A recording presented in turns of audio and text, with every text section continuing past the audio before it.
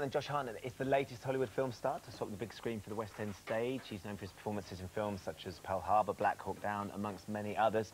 And he's now playing Charlie Babbitt in the British theatre production of the 80s hit movie Rain Man. And he's here with us this morning. Good morning, Josh. Morning. Uh, we, we, we, were just talking that Sunday usually is a, is a dark, they sort of dark nights or dark days they call them because you don't have to perform. But you were Yeah. you were busy yesterday. Uh, well, we had a, uh, a friend of mine does this uh, experimental Hamlet, and they played the Globe Saturday night at midnight, and so I uh, I played a tiny part in that, and uh, didn't get home until about five in the morning. And it's all work. So I had- so you haven't necessarily had your day off. But it's, ton, it- uh, we mentioned Pearl Harbor and Black Hawk Down, which are two Yeah. two huge films that, that you've been involved in, and, and there's often you know a lot of um, uh, Hollywood movie stars have come over recently. Uh, I imagine the challenge for, for you as a movie actor c- to, to going onto stage is quite a, the difference is quite dramatic. Well, with a, a play like this, um, like we were talking about just a, just a second ago, my character has essentially a monologue throughout the entire play, and uh, and the, my brother's character as well. We we never connect, and so we just kind of ultimately um, speak about our own things, and it's it's quite a you know it's a large piece of work to remember, and we only had three weeks rehearsal, so. It's very intense. It is. Yeah. It is essentially. It's a remake of the film that everyone will know with Tom Yeah. Cruise and Dustin Hoffman. You played Charlie Babbitt, which was Tom Cruise's character. Mm. Did you know the film well? Are you, had you studied it, or uh, did you want to Didn't- sort of separate yourself? Yeah, I didn't really want to study it, but um, I I'd seen it when I when it came out. It came out 20 years ago. It's so. incredible, that isn't And it? that's Yeah. the last time you saw it, so you didn't go back and revisit it before. I've seen it since, but I, I didn't right. watch it for this. No, I- you ever didn't. since I signed on to this project, I haven't I haven't seen it. And, and for you and, and for Adam Godley, who plays Raymond, who's Yeah. Dustin Hoffman's character, like you say, it is literally. I, I saw. I was fortunate enough to see the play on, on Friday, and Mm. I was just bowled over with how many words you both have throughout.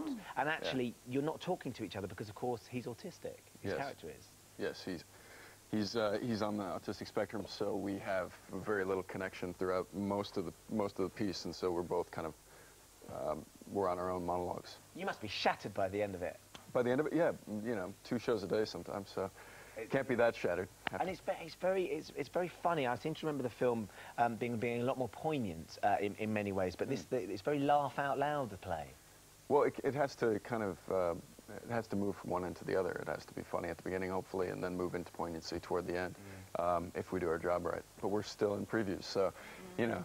How you cope with by the time- audiences and, and and the sort audiences are fantastic. We've had uh, the full gamut. We've had people that have laughed throughout the entire thing, and people that have taken it in very seriously, and um, but we've had pretty much full houses, so that's that's the I best. always, I always wonder after if you've had a standing ovation or if the audience is a bit muted, do you all go backstage and, and, and sort of analyse the audience reaction? Yeah, we do overall? actually. Yeah. Yeah, yeah, yeah. Yeah. Because everybody has to tell me what it's about. Yeah. Oh, that's a Friday audience, you know. Yeah. Don't Oh, worry, really? don't worry about it. Or a Tuesday audience, you know. So you're But watching us as much as we're watching you. I a bit, that. yeah. Well, we're paying attention. Yeah. Yeah. Um, one of the things you have to sort of deal with when you come over is the sort of the, the, the increased intrusion from our newspapers and, Yeah. and stuff because we love having you guys come over and we're fascinated by it. We read about it And day then we out. strip you right down. How do Yeah, you yeah. found that? Because the, the tabloids can be quite sort of hostile at times. It's actually kind of it's, it's kind of incredible the stories that they come up with that there has to be no factual basis whatsoever. I mean, in the states at least they have to uh, they have to call a representative and try and make some sort of